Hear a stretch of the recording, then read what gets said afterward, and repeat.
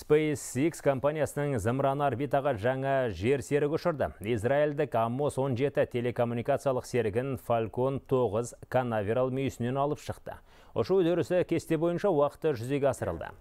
Жерден көтерілген соң 31 минут өткенде құрылғы қажетті жылдамдыққа жетті. Зымыранның алдыңғы бөлігі екінші рет қолданылып отырған соң компания оны кері қайтармады.